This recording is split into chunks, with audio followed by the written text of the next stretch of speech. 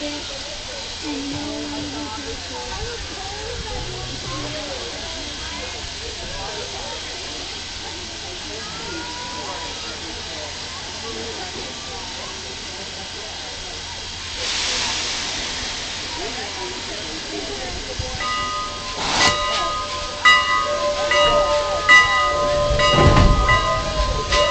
and gentlemen, we hope you're enjoying your day out with Thomas. Please make your way down to the town square stage for Thomas Live.